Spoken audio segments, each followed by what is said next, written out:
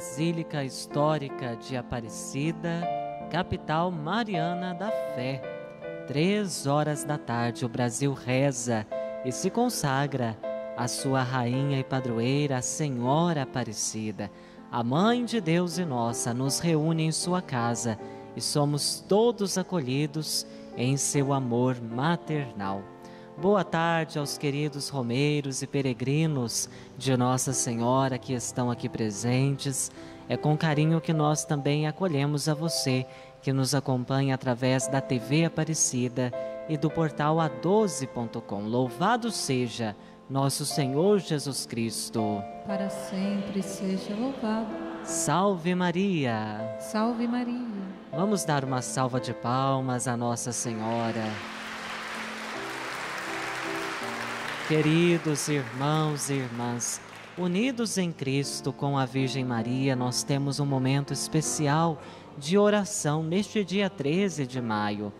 No encontro com Jesus Eucarístico, queremos permitir que o Senhor fale bem de perto ao nosso coração.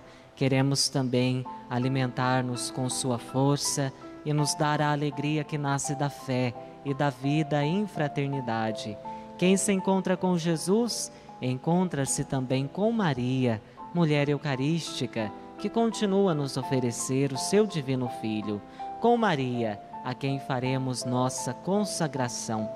Vamos unidos na fé e no amor nos aproximar da fonte eterna de vida e salvação, a Eucaristia, Jesus, pois Maria leva toda a comunidade ao encontro de seu Filho. Coloquemo-nos em pé e cantemos para a exposição do Santíssimo Sacramento.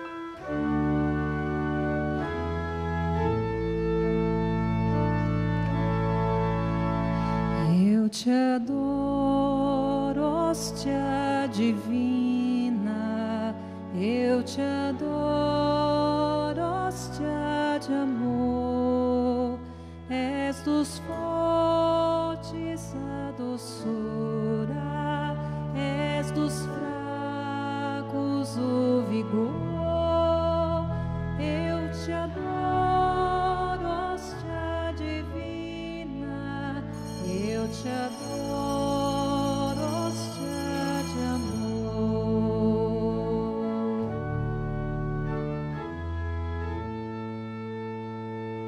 Em nome do Pai, do Filho, do Espírito Santo. Amém. Meu Senhor Jesus Cristo por amor a nós, permaneceis dia e noite no sacramento da Eucaristia, e cheio de misericórdia e amor esperais, chamais, acolheis agora a nossa visita, bem como depois a de todos os que virão visitar-vos. Nós cremos que estais realmente presente no sacramento do altar. Nós vos adoramos e vos damos graças por todos os dons que nos destes especialmente pela entrega que fizestes de vós mesmo neste sacramento e por nos terdes dado como protetora Maria, vossa mãe. Nós, Nós vos agradecemos, Senhor, por, por nos terdes convidado a visitar-vos neste momento. Nós vos agradecemos pela vossa presença sempre continuada em nosso meio pela Santa Eucaristia. Por isso, Desejamos também amar-vos com toda a inteligência, com todo o nosso coração. Obrigado, Senhor, por todas as Eucaristias que são celebradas em todo o mundo. Queremos, com esta visita, adorar-vos em todos os altares do mundo, onde a vossa presença neste sacramento é menos reverenciada e mais abandonada. Queremos também vos pedir perdão pela indiferença e pelas ofensas que recebeis neste sacramento. Senhor, tem piedade daqueles que vos desconhecem e não vos respeitam. Queremos também, Jesus, neste momento, pedir perdão por não reconhecermos, amarmos e respeitarmos vossa presença mesmo no coração, na vida, no dia a dia de cada irmão é irmã que conosco convive no ambiente de família, no ambiente de trabalho. Pensamos também nas pessoas que são descartadas em sua dignidade pessoal pelo exercício das funções públicas e pensamos aqui nos mais pobres e abandonados.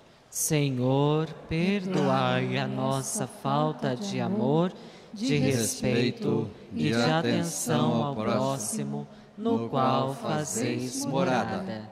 Queremos ainda, Senhor, depositar em vosso coração misericordioso nossa vontade, nossos sentimentos e nossa vida, para que sejamos vosso sacrário vivo.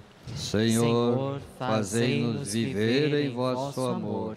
Por isso, ajudai-nos a transformar nosso coração, nosso pensar e nosso agir. Ó Senhor, que recebendo-vos na comunhão eucarística em nossa comunidade ou em outra em que estivermos, possamos comungar também aí vossas atitudes de amor, gestos de misericórdia, de bondade e respeito para com todas as pessoas. Senhor, fazei de nós discípulos missionários vossos, no amor, na justiça, na solidariedade e no perdão. Que tenhamos sempre confiança em vós, especialmente nos momentos de angústia, sofrimento e dor, na certeza de que vós estáis presente, bem junto de nós. Senhor, fortalecei nossa fé e aumentai nossa confiança em vós. Que unidos a vós, ó Jesus, sob a proteção de vossa e nossa Mãe Santíssima, possamos ser sempre firmes em nossa fé cristã, portanto, cada vez mais comprometidos com a justiça, com a solidariedade e com a paz. Ficai conosco, Senhor, para que nosso modo de agir seja sinal de nossa fidelidade e comunhão convosco. Enfim, Jesus, nosso Santíssimo Redentor, nós depositamos os nossos pedidos, agradecimentos e louvores em vosso coração cheio de amor, na confiança e certeza de que o Senhor os acolha e atenda. Senhor, acolhei nossa oração sincera e fazei de nós um sinal de vosso amor e de vossa bondade para com todos. E agora é o momento que, com muito carinho, nós renovamos nossas intenções, pedidos e agradecimentos diante da Eucaristia, diante da Mãe Aparecida. Vamos, queridos irmãos e irmãs, colocar o nosso coração derramado, cheio de afeto e amor, no altar de Aparecida. Aqui estão as preces apresentadas por tantos devotos queridos de Nossa Senhora. E como família dos devotos, nós convidamos você a ligar para nós. 0300 210 1210. Deixe também sua intenção no altar de Aparecida. Em Jesus nós vivemos, nos movemos, existimos e somos. E agora é a hora da bênção. Os nossos olhos contemplam o pão da vida sobre o altar, a Eucaristia que é a maior de todas as bênçãos, porque é a grande ação de graças ao Pai dos homens unidos em Cristo, e é a grande bênção que transborda de Sua bondade para nós. Com confiança, cantemos tão sublime sacramento.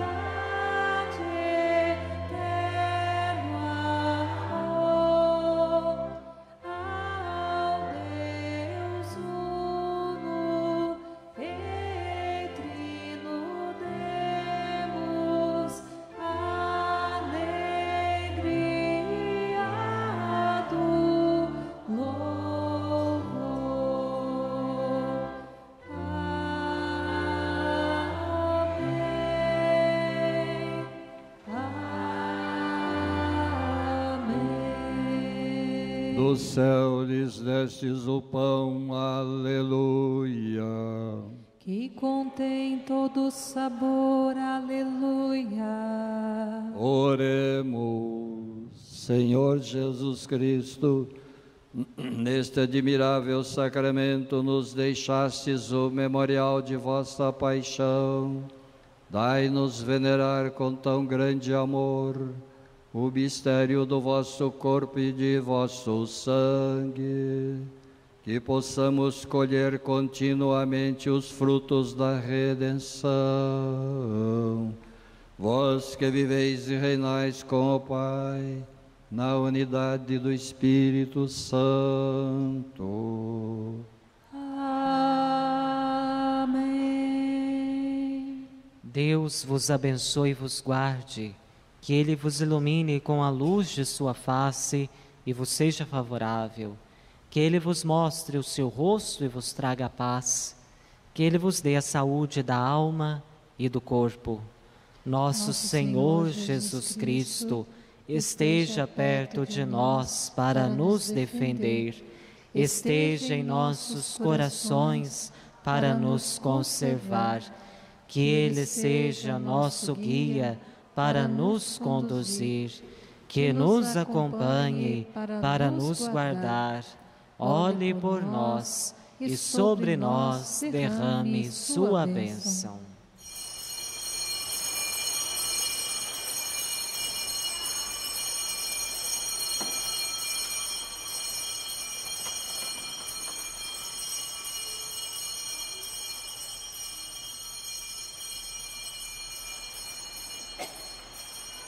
Graças e louvores se deem a todo momento. Ao Santíssimo e Diviníssimo Sacramento, Jesus, manso e humilde de coração, fazei o nosso coração semelhante ao vosso. neste momento o Senhor retorna ao sacrário onde permanece a nossa espera, dia e noite, vivo e ardente de amor por nós. Cantemos.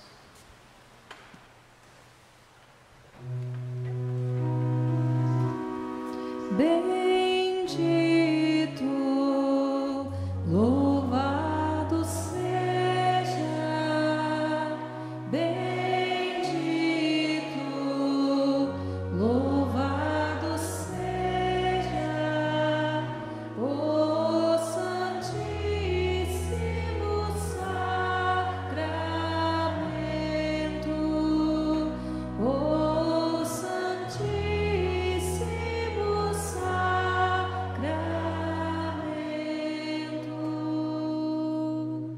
agora nós vamos ouvir a mensagem missionária catequética do Padre Cleiton Santana, missionário redentorista.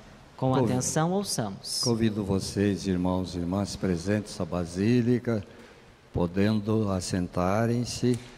Convido todos que, que também costumam rezar este momento precioso de adoração a Jesus Eucarístico e de veneração filial a Maria, a primeira mulher eucarística. Convido todos aqueles que, através dos meios de comunicação que fazem o trabalho evangelizador do Santuário Nacional, cada vez mais despertando a devoção a Nossa Senhora e, por meio dela, a- o conhecimento da fé e seguindo Jesus. Convido todos, agora neste momento, a lembrarem-se de ontem. Ontem foi o dia da ascensão de Jesus. Ascensão é subir, ascender, ascender, as- ascendere em latim, não é? Subir aos céus. Jesus, tanto a linguagem litúrgica diz que ele foi levado aos céus, como diz que ele, que ele subiu. Subiu por seus próprios méritos, seus próprios meios, por sua divindade. Né? A divindade potencializou a humanidade.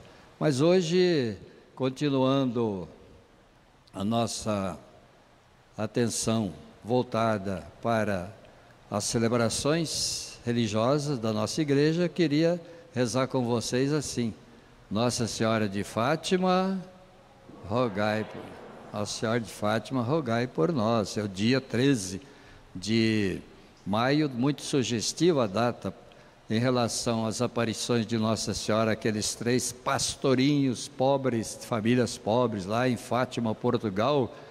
Nome, lembra? Jacinto, Francisco e Lúcia. Se não lembrava, continuou lembrando agora. Nossa Senhora, então, no céu, já partilha conosco, a, que nós não sabemos como é que é, mas é a fé que nos diz, partilha conosco a alegria da ascensão do seu filho. Celebramos com a ascensão dele, Jesus, uma certeza, a certeza de estarmos a caminho também na estrada que seus pés feridos abriram para que nós pudéssemos chegar, subir até onde ele preparou, como prometeu aos apóstolos, uma morada para nós. E a data de recordação e louvor às aparições de Nossa Senhora de Fátima, aqueles três pastorzinhos, nos congrega agora com várias referências. Por exemplo, Nossa Senhora se fez ver pelas três crianças diversas vezes, se fez ver com uma recomendação repetida: fazer penitência rezando o terço pela paz do mundo. Paz do mundo, como se faz necessária esta paz hoje, portanto, como é necessário rezar para que ela aconteça. E depois a nossa comunidade cristã, irmãos e irmãs, nos congrega de algum modo né, na semana de oração pela unidade dos cristãos. É exatamente essa semana decorrente entre aí a festa da Ascensão e a vinda do Espírito Santo que encerra o período pascal do calendário. Então nós estamos nas paróquias, capelas, aonde de alguma forma se lembra isso, se esforça para fazer isso, estamos unidos e não só os católicos não, existem muitos evangélicos, a gente se esquece disso. Os presbiteranos do Brasil, os luteranos é, e outros, né? Estão unidos nesse propósito, nessa busca de união, de unidade, que nós chamamos de ecumenismo.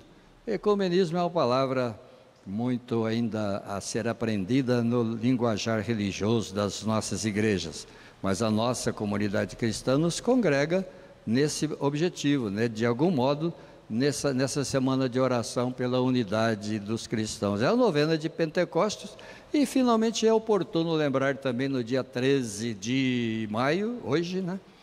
aquela data de 1888, como a gente aprendeu na escola, quando a princesa Isabel assinou a Declaração da Liberdade da Escravatura Negra. Já se passaram lá 136 anos que essa lei foi, então, bandeira de libertação, bandeira de libertação em favor, de um modo geral, da dignidade humana. E hoje ela pode também é, nos sensibilizar, essa data cívica, e pode nos sensibilizar de algum modo no sentido religioso, atualizado. É? O Evangelho nos educa para isso, para a fraternidade, para a liberdade de expressão, no amor, na justiça, no respeito, no bom uso da palavra, que não precisa ser, não precisaria ser corrigido por ninguém. Quem tem o amor ao próximo, como aliás é o lema, é o tema é, desta semana de oração pela unidade dos cristãos, dado pelo Santo Padre, o Papa Francisco. Então, o Evangelho nos educa para a fraternidade ensinada, vivida por Jesus, por meio daquele seu mandamento que ninguém esquece: né? Amai-vos uns aos outros, como eu vos amei. Os uns aos outros, sabemos nós, não inclui só a raça negra, uma raça, um povo, uma, um conjunto de nações. O amai-vos uns aos outros, ensinado vivido por Jesus, é, é, é, inclui brancos, pardos, é, vermelhos, os índios, né? e todos os que são descartados, e aí incluímos todos mesmo, da cidadania verdadeira, da verdadeira democracia, da verdadeira liberdade, dos valores cívicos, como cito, família, patriotismo, fé, é? valores cívicos. Não vamos esquecer, porque a data já passou, está passando, da libertação da escravatura pela lei áurea, dada, aprendemos na escola, aprende-se na escola, fica por isso mesmo.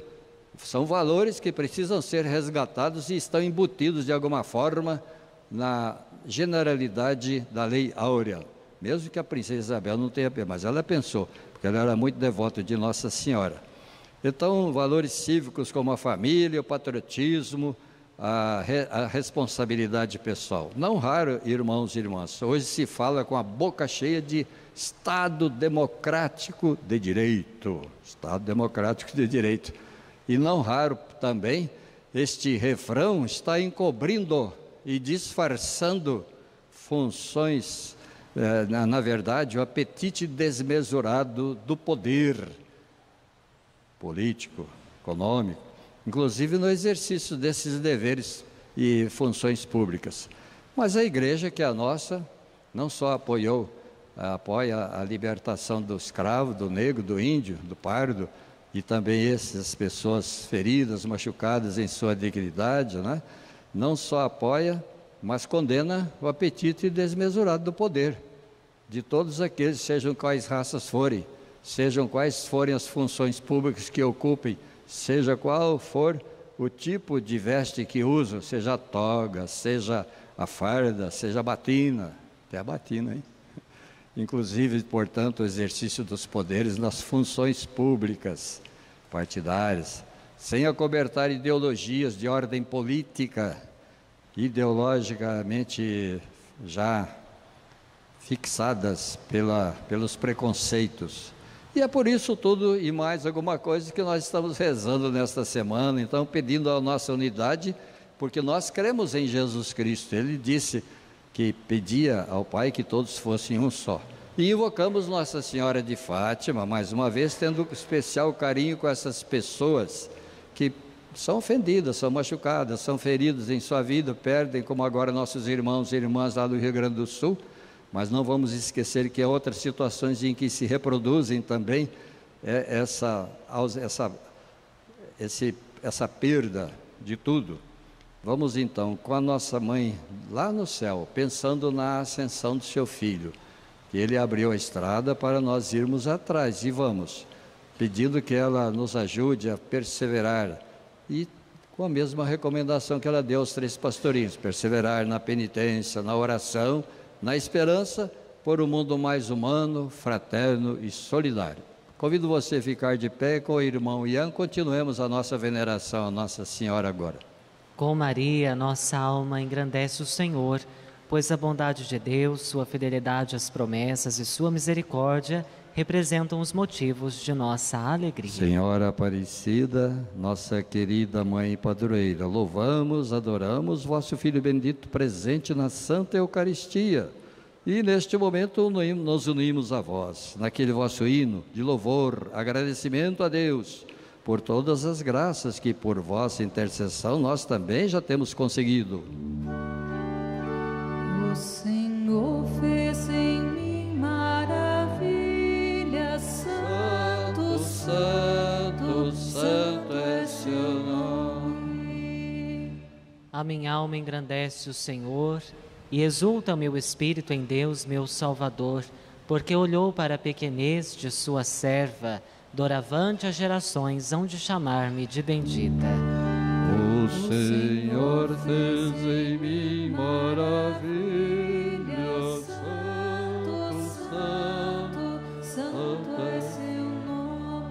poderoso fez em mim maravilhas, porque santo é seu nome, e seu amor para sempre se estende sobre aqueles que o temem. O Senhor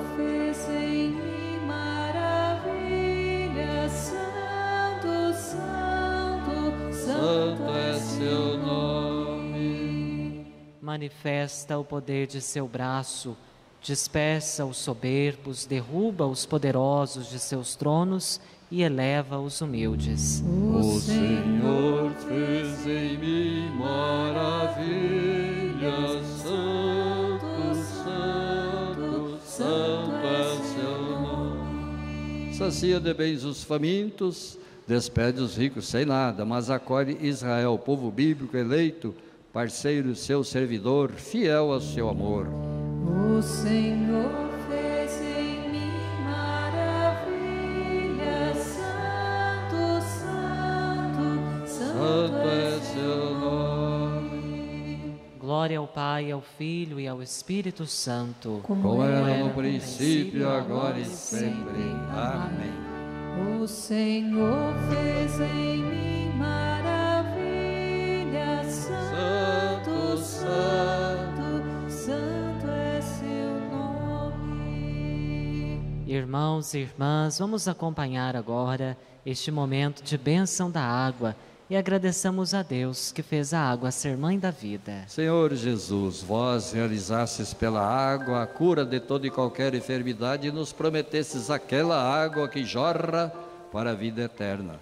E da água e do Espírito Santo nos fizeste, portanto, nascer um dia para a vossa própria vida sobrenatural divina pelo sacramento do batismo.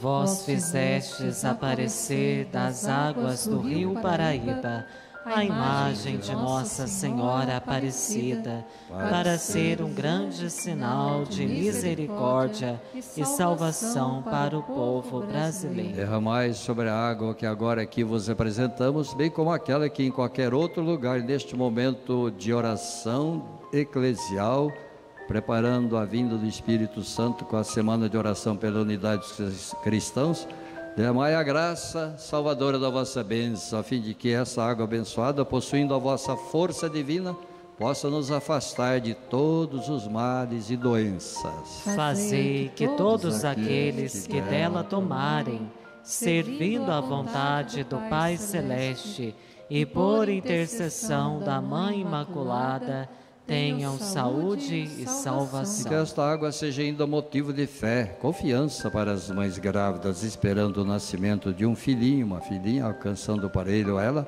a graça do santo batismo. É o que pedimos a vós, Senhor, que viveis e reinais com o Pai na unidade do Espírito Santo. Amém. E agora nós queremos nos consagrar a Nossa Senhora, renovar nosso amor, nossa devoção. Estenda a sua mão direita em direção à pequena imagem de Aparecida. Rezemos. Ó Maria Santíssima, pelos méritos de nosso Senhor Jesus Cristo, em vossa querida imagem de Aparecida, espalhais inúmeros benefícios sobre todo o Brasil. Eu, embora indigno de pertencer ao número de vossos filhos e filhas, mas cheio do desejo de participar dos benefícios de vossa misericórdia, prostrada a vossos pés, consagro-vos o meu entendimento, para que sempre pense no amor que mereceis. Consagro-vos a minha língua, para que sempre vos louve e propague a vossa devoção. Consagro-vos o meu coração, para que depois de Deus vos ame sobre todas as coisas.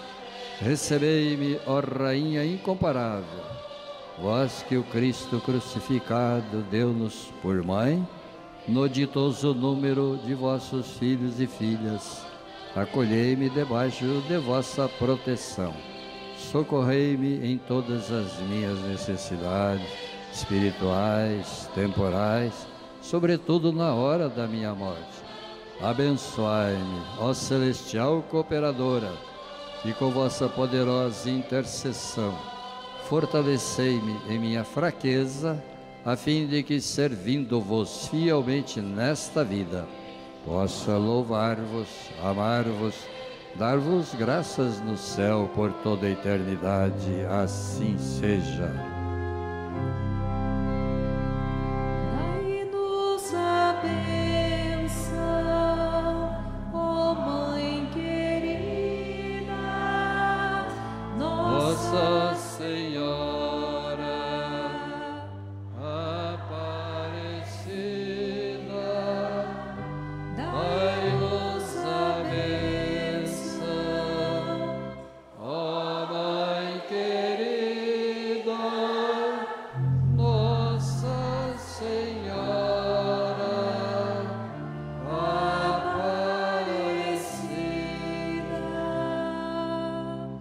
Façamos a oração pela pátria.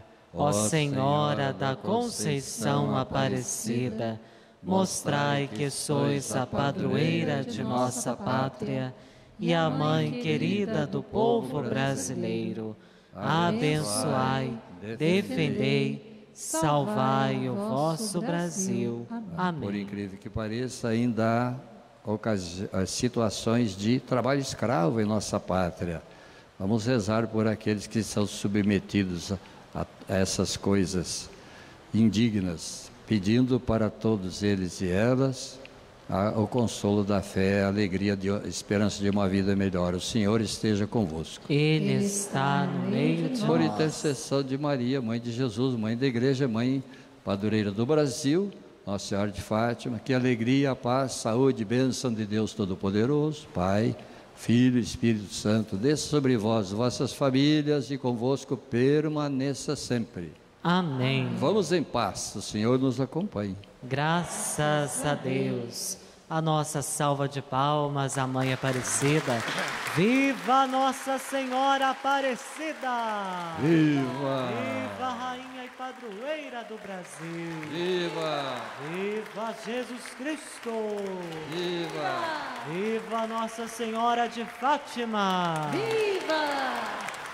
Nosso muito obrigado a todos que rezaram conosco aqui na Basílica Histórica. Obrigado a você que nos acompanhou também através da TV Aparecida e do portal A12.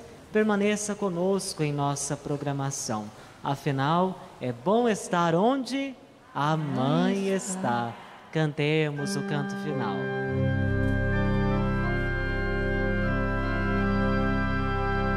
A treze de